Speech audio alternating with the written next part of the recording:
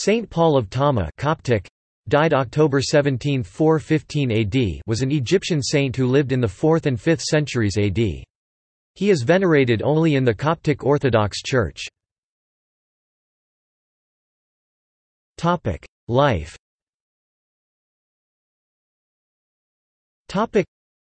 Paul of Tammah lived as a hermit in the mountain of Ancina currently in the El Minya Governorate of Egypt. He had a disciple named Ezekiel. Paul of Tammah is most known for spending his life in lengthy fasts and worship. The Coptic Orthodox tradition has it that he would only break his fasts when Jesus told him to. Towards the end of his life, he befriended Saint Pishoy at the time when the latter fled the Nitrian desert because of the Berbers' attacks, and went to dwell in the mountain of Ancina. Departure and relics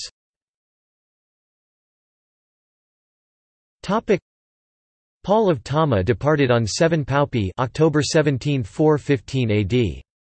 He was buried along with Saint Pishoy in the monastery of Saint Pishoy at Deir el Barsha, which still exists today near Mallawi.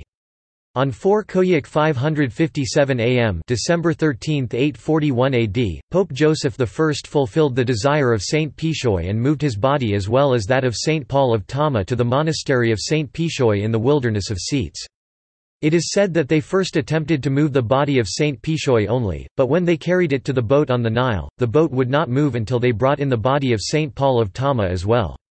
Today, the two bodies lie in the main church of the Coptic Orthodox monastery of Saint Pishoy in the Nitrian desert. References